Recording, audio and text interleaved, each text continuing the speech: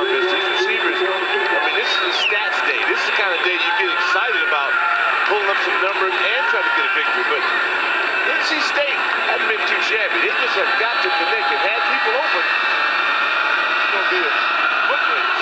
Saw the activity on our accurate scoreboard. Here's T.J. Graham in the end zone, coming out again. On a 60-yarder last time down, he's going to get some yardage this time. Walk on the corner, one man to beat. State.